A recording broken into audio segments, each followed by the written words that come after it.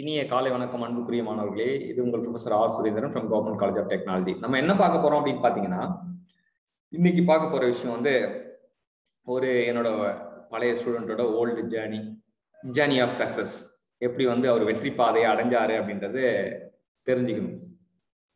இன்னைக்கு காலகட்டத்தில் ஸ்டூடெண்ட்ஸ் என்ன நினைக்கிறாங்கன்னா இன்ஸ்டன்ட் கிராட்டிபிகேஷன் நோக்கி ஓடிட்டு இருக்காங்க. அது இன்ஸ்டன்ட் கிராட்டிஃபிகேஷன் என்னைக்குமே வந்து நமக்கு வேண்டிய வெற்றியை தராது.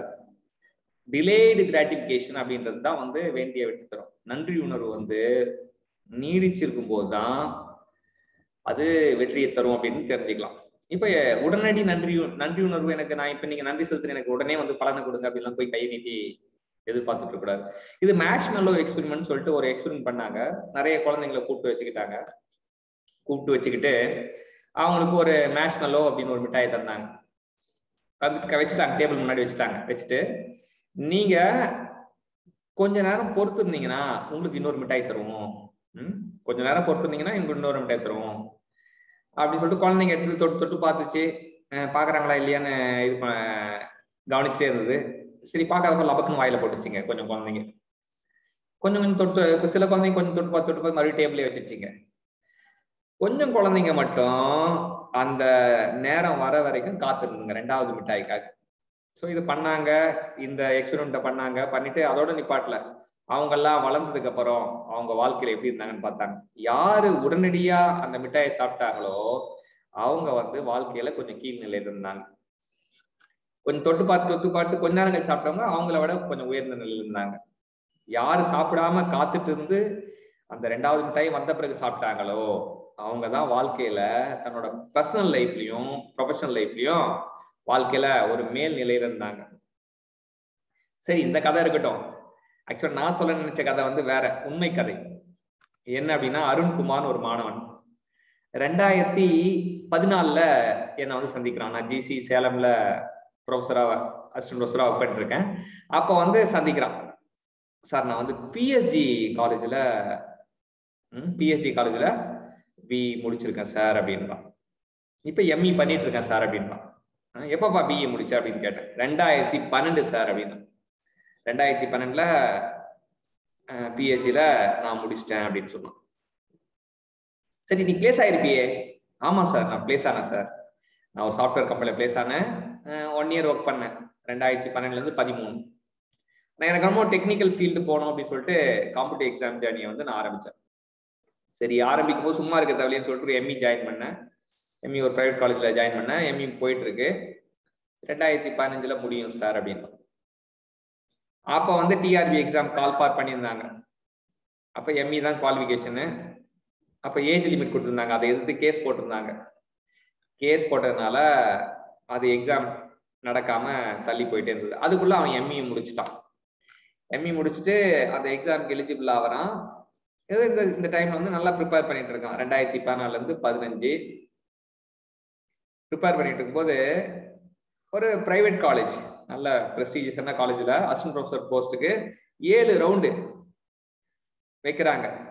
இன்டர்வியூ ஏழு ரவுண்டு ப்ராசஸ் அப்ப ரவுண்டு கட்டி பட்டையை கிளப்புறாங்க. அதுல செலக்ட் ஆகிறோம் got salary of fifty thousand எல்லாம் நிறைய பேர் போட்டியாளர்கள் போட்டு ஐம்பதாயிரம் ரூபா செலக்ட் செலக்ட் ஆயிடுறான். அசிஸ்டன்ட் ப்ரொஃபஸராக ஒர்க் பண்ணிட்டு இருக்கேன். ஒரு ப்ரைவேட் காலேஜில் நல்ல சூப்பரான லைஃப் அப்போ இன்ஜினியரிங் டிஆர்பி வருது. ரெண்டாயிரத்தி பதினாலில் வருது. அப்போ எழுதுறான் அவனுக்கு அது கிடைக்காம போயிடுது. அப்போ ஃபுல்லாக ஒரு மாதிரி மைண்டு அப்செட் ஆகுது. என்னடா இது? இந்த ஏழு ரவுண்டே கிளியர் பண்ண நம்மளால டிஆர்பி கிளியர் பண்ண முடியலன்னு ஒரு அப்செட் ஆகுது. சரி மறுபடியும் தொடர்ந்து சாம்பியனா போராடுவோம் அப்படின்றப்போ வந்து போராடுறான் அந்த போராடும் குணம் வந்து எப்பவுமே வாழ்க்கை வந்து போராளிகளுக்கு தான் வாசல் திறக்கும். போராடாம இருக்கவங்களுக்கு கண்டிப்பா வாசலை தரவே திறக்கவே திறக்காது. மூடியே தான் வச்சிருக்கும். நம்பான்னு போய் வெயிட் பண்ணி வெயிட் பண்ணி வந்துட வேண்டியதுதான். ஒரு விஷயத்தை எடுத்துக்கிட்டா அதை பூரணமா முடிக்கக்கூடிய ஆற்றலை நம்ம வல்லமையை பெறணும். அது கிடைக்கிற வரைக்கும் போராடுறது தான் போராளியோட குணம். ஐயோ கிடைக்கல. நான் வேற எதுவும் பாத்துக்கிறேன் வேற எதுவும் போய் பார்த்துட்டு இருப்போம். அங்கேயும் கிடைக்கல. அப்புறம் வேற எதுவும் பார்த்துட்டு இருப்போம். அங்கேயும் கிடைக்கல அப்படின்னு சொல்லிட்டு கிடைக்கல கிடைக்கல கிடைக்கல கிடைக்கல கிடைக்கல கிடைக்கலன்னு அப்படியே குரங்கு மாதிரி மரம் மாதிரி மரம் மாதிரி ஒரு ஃபீல்ட தாண்டி தாண்டி தாண்டி போயிட்டே இருக்கும். ஆனா அந்த போராளி குணத்தோட ப்ரிப்பேர் பண்றான். ப்ரிப்பேர் பண்ணும்போது அவனுக்கு என்ன ஆகுதுன்னா ஃபர்ஸ்ட் ஒரு சாம்பியன் ஜேர்னி கிடைக்குது. வைசாக் ஸ்டீல் பிளான்ட் அப்படின்ற ஒரு எக்ஸாம் வந்து கிராக் பண்றான். ரிட்டர்னை கிளியர் பண்றான். ஆனா is not able to clear the interview அப்போ மனசு விடல. அதுக்கப்புறம் in between polytechnic TRB call for வருது. ஃபோன் பண்றான். சார் என்ன சார் பண்ணட்டும்? நீ வேலையில இருந்து படிச்சா கண்டிப்பா கிளியர் பண்ண முடியாது. வேலையை விட்டுரு அப்படின்னு. அப்ப அவனுக்கு ஒரு டிசிஷன் எடுக்கணும். ஐம்பதாயிரம் ரூபாய் சம்பளம் வாங்குற வேலையை விடணும். அப்போ துணிவா எடுக்கிறான். அந்த துணிவு வந்து வெற்றியாளர்களுக்கு வந்து துணிவு கண்டிப்பா இருக்கும். துணிச்சலா அதை தூக்கி போட்டு வரான். அப்ப வீட்டுல எல்லாம் டேய் என்னடா இது? அப்படின்றாங்க. அப்ப அந்த பாலிடெக்னிக் டிஆர்பி எக்ஸாம் கிளியர் பண்ணிடுறான். சாம்பியன் ஆனா அங்க ஒரு சிக்கல். நடுவுல ஒரு ட்விஸ்ட் அந்த எக்ஸாமை கேன்சல் பண்றாங்க. அப்ப அவனுக்கு மைண்டே பிளாங்க் ஆயிடுது. எங்க இருந்து ஆரம்பிச்சு உயரத்துக்கு அப்படியே உயரத்துல போகும்போது தொட போறோம் இல்லையா அப்படின்றப்ப டக்குன்னு கையில ஒண்ணுமே இல்லாம ஆகுது. மறுபடியும் ஜீரோ அந்த ஜீரோல இருந்து ஹீரோ ஆகியே ஆகணும். இப்ப மறுபடியும் ஃபோன் பண்றான். சார் என்ன சார் பண்றது? தம்பி நீ பிஹெச்டி எங்கேயாச்சும் கிடைச்சா ஜாயின் பண்ணிக்கோ. அப்ப அப்ளை பண்ணலாம் ஐஐடி பாலக்காடு போறான் அதுக்கப்புறம் என்ஐடி திருச்சி போறான் பிஹெச்டி என்ட்ரன்ஸ் எக்ஸாம்ல டாப்பரா வந்துடுறான். சரி. அந்த டாப்பரா வந்ததுக்கு அப்புறம் அங்க ஜாயின் பண்ணிடுறான். ஜாயின் பண்ணிட்டு போயிட்டே இருக்கு. அப்ப வீட்டுல அலையன்ஸ் எல்லாம் பார்க்க ஆரம்பிக்கிறாங்க. அப்ப மறுபடியும் ஃபோன் பண்றான் சார் என்ன சார் வேலை இல்லை? வீட்டுல அலையன்ஸ் பாக்குறாங்க சார். வேலைக்கும் அதுக்கு சம்மந்தம் இல்லை. ஃபர்ஸ்ட் கல்யாணம் பண்ணிக்கும் அப்ப அத அந்த ஜேர்னியும் முடிச்சிடறான். அதுக்கப்புறம் போயிட்டே இருக்கும்போது பிஹெச்டி போர் பக்கம் போயிட்டு இருக்கு. கல்யாணம் ஆயிடுச்சு. அடுத்த இலக்கு. அடுத்த இலக்கு அப்படின்னு பாத்தீங்கன்னா கோல் இந்தியா லிமிடெட் கிளியர் பண்றாங்க. அது கிளியர் பண்ணி இன்டர்வியூ கிளியர் பண்ணினா வேலை தயாராயிடுது. இப்ப அதுக்கு தயாரா இருக்கான். தயாரா இருக்கும்போது அவனோட எம்இ குவாலிபிகேஷனுக்கு வந்து ஒரு கால் ஃபார் வருது இஸ்ரோல அதை எழுதுறான். இஸ்ரோவும் கிளியர் ஆயிடுது. இப்போ அவனுக்கு இரண்டு அரசாங்க வேலை. ஒன்னு கோல் இந்தியா லிமிடெட் இன்னொன்னு இஸ்ரோ. அவன் என்னன்னா ரெண்டாயிரத்தி பதினொன்னுல பிஹெச்ல படிக்கும்போது தேர்ட் இயர்ல இருந்தப்ப அவன் ஃபர்ஸ்ட் எழுதுற எக்ஸாம் இஸ்ரோ எக்ஸாம் அவனுக்கு மைண்ட்ல சயின்டிஸ்ட் ஆகணும்னு ஆசை இருக்கு. விதை ரெண்டாயிரத்தி விதை விதைச்சது ரெண்டாயிரத்தி பதினொன்னு. அவனுக்கு ஒரு நல்ல மென்டார் கிடைச்சது ரெண்டாயிரத்தி பதினாலு. அதனால அவனுக்கு கிடைச்ச வாழ்க்கை அவன் ப்ரிப்பேர் பண்ணவனா ரெண்டாயிரத்தி பதினஞ்சுல ஒரு பிரைவேட் காலேஜ் அசிஸ்டன்ட் போஸ்ட் ஐம்பதாயிரம் ரூபாய் சம்பளம். அப்புறம் Vizag steel plant written clear ஆனா இன்டர்வியூ கிளியர் பண்ண முடியல.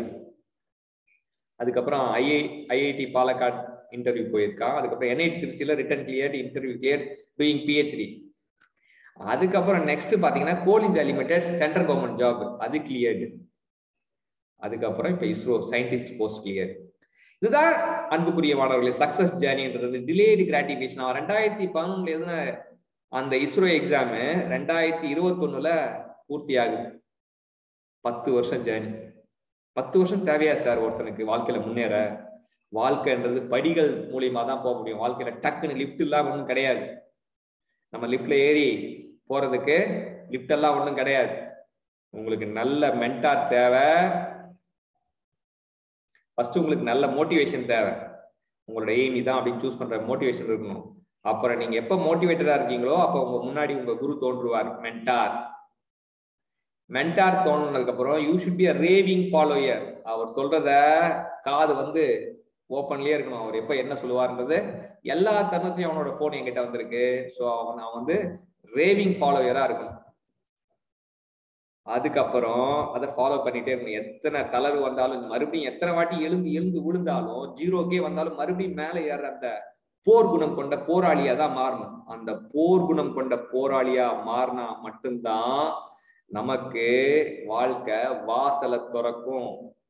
போராளிகளுக்கே வாசல் திறக்கப்படுகிறது. சோம்பேறிகளுக்கு அல்ல. இல்ல இல்ல நான் ஒரு ஒரு மூணு மாசம் படிக்கிறேன். எனக்கு ஒரு அரசாங்க வேலை கொடுங்க. மூணு மாசம் படிக்கிறேன். என்ன வாழ்க்கையில முன்னேற்றுங்க. அதெல்லாம் கிடையாது. இட்ஸ் அ கண்டினியூஸ் ஜேர்னி ஆனா ஒரு மாசத்துல படிச்சு கிளியர் பண்ணவங்க இருக்காங்க. அது அவங்கவுங்க நுட்பத்தை பொறுத்தது அவங்கவுங்க அந்த நேரத்தை பொறுத்தது. காலம் வந்து கரெக்டா நம்ம உணர்ந்தோம்னா நமக்கு அது ஒரு மிகப்பெரிய சொர்க்கம். காலத்தை உணரணும் நம்ம செய்யற காரியத்தை உணரணும் உணரணும். நம்ம இந்த காரியத்தை ஏன் செய்யறோன்ற காரணத்தை புரிஞ்சுக்கணும்.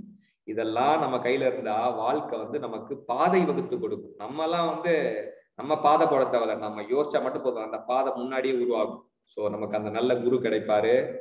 நம்ம ஃபாலோயரா மாறலாம். மெத்தடாலஜி ரைட் மெத்தடாலஜி நிறைய பசங்க வந்து என்ன தெரியல அப்படின்னா சரியான முறை அப்படின்னு முறை செய்து மன்னவன் காப்பான் அப்படின்றாங்க. உம் வள்ளுவர் என்ன சொல்றாரு? முறை செய்து காப்பான். அவன் தான் அரசன் அப்படின்றாரு. இப்ப நம்ம இருக்குன்னா நம்ம அதை முறை செய்யணும். நம்ம மெத்தடாலஜி வந்து முறையா இருந்தாதான் அது நல்ல வழிமுறையா இருந்தாதான் நமக்கு நல்ல வாழ்க்கை முறை கிடைக்கும். நல்ல வழிமுறையா இருந்தாதான் நல்ல வாழ்க்கை முறை கிடைக்கும். அந்த வாழ்க்கை முறை மூலயமா தான் நம்ம வந்து வாழ்த்துக்களை பெற முடியும். நம்ம எப்பவுமே நன்றி உணர்வோட இருக்கணும். விழிப்புணர்வோட இருக்கணும். பொறுப்புணர்வோட இருக்கணும். இந்த பொறுப்புணர்வு நன்றி உணர்வு விழிப்புணர்வு எப்பவுமே நம்மளை விட்டு நீங்க கூடாது. நான் இதுக்காக தான் பண்றேன் நான் இதுக்காக தான் பிறந்தேன் இது என்னோட செயல். நான் வந்து I am champion I am consistent action taker I am rapid action taker I am massive action taker அப்படின்றத வந்து நீங்க ஒவ்வொரு செயல்லையும் நீங்க புரிஞ்சு வச்சுக்கிட்டே இருக்கணும். அப்படி புரிய வைக்கும் போது உங்க வாழ்க்கை வந்து உன்னதமான நிலை அடையும் அன்பு மாணவர்களே ஸோ அதுதான். உங்க வாழ்க்கை வந்து செழுமையா இருக்கணும்னா நீங்க இந்த விஷயங்களை டிலேடு கிராட்டிபிகேஷன் ஒரு விஷயம் இருக்கணும். அதுக்கப்புறம் நன்றி உணர்வு இருக்கணும் அப்புறம் விழிப்புணர்வு இருக்கணும் அப்புறம் பொறுப்புணர்வு இருக்கணும். இந்த உணர்வு வாழ்க்கைன்றது உணர்வு பூர்வமானது நம்ம உணர்வு இல்லாம நம்ம செத்து போன ஜடமாரெல்லாம் வந்து வாழ்க்கை நடத்த முடியாது. நம்ம வாழ்க்கை உணர்வு பூர்வமானது ஸோ அந்த உணர்வை வந்து கரெக்டா நம்ம உபயோகப்படுத்தும் போது உணர்வு பூர்வமா உள்ளத்துக்கு செலுத்தும் போது அந்த எல்லா விஷயம் நம்ம கேட்கறது உள்ளம்ன்றது அலிபாபாவின் அந்த இந்த அலிபாபாவை விளக்கு. அந்த ஒரு விளக்கு மாய விளக்கு மாதிரி தேய்ச்சா எல்லாமே கொடுக்கும் பார்த்தீங்களா மனம் வந்து அந்த மாதிரி அற்புதமான கருவி. நம்ம மனசுல அவன் ரெண்டாயிரத்தி பதினொன்னுல நான் சயின்டிஸ்ட் ஆகணும் அப்படின்னு ஒரு இஸ்ரோ எக்ஸாம் எழுதுறான் இல்லையா ஆசையோட. அன்னைக்கு அவனுக்கு வந்து ஒண்ணுமே தெரியாம போய் எழுதுறான்.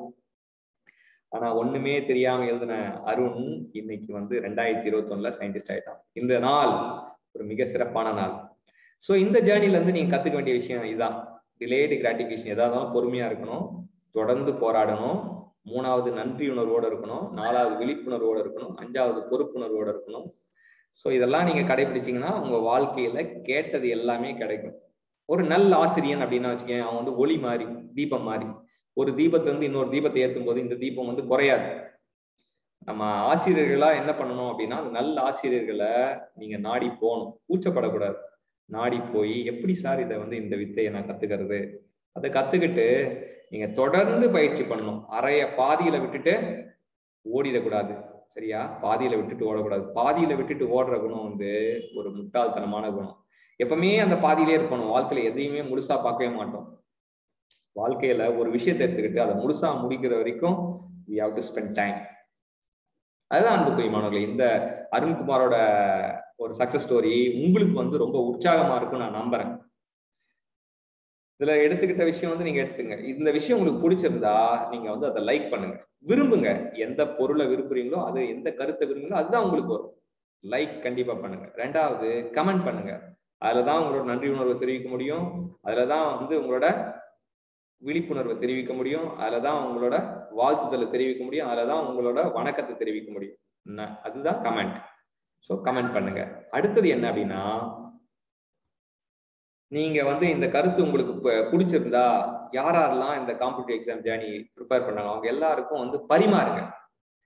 பரிமாற்றம் தான் உலகத்துல ஒரு பல மடங்கான வளர்ச்சியை தரும். நம்ம பரிமாறினாதான் வந்து ஒரு பல மடங்கான வளர்ச்சி தரும். அந்த வளர்ச்சி தான் இந்த உலகத்துக்கு தேவை. எல்லா உயிர்களுக்கும் வளர்ச்சி தேவை. இந்த உலகத்துக்கும் ஒரு வளர்ச்சி தேவை. அந்த வளர்ச்சி வந்து உங்களால மட்டும்தான் செய்ய முடியும் அன்புக்குரிய மாணவர்களே. எனவே இதை வந்து ஷேர் பண்ணுங்க. லைக் பண்ணுங்க கமெண்ட் பண்ணுங்க ஷேர் பண்ணுங்க. இதை போல நிறைய சக்சஸ் ஸ்டோரிஸ் வந்து உங்களுக்கு நான் கொடுக்கணும்னு ஆசைப்படுறேன். எல்லா என்னோட மாணவர்கள் வெற்றி பெற்ற மாணவர்கள் எனக்கு வரையும் வந்து உங்க உங்க வெளிச்சத்துக்கு கொண்டு வந்து உங்க வாழ்க்கைக்கு உற்சாகமா இருக்க உபயோகமா இருக்க மாதிரி மாத்தணும்னு ஆசைப்படுறேன். இதனால நீங்க அடையக்கூடிய நன்மை வந்து கோடான கோடி நன்மை. உங்க வாழ்க்கை மாறும்.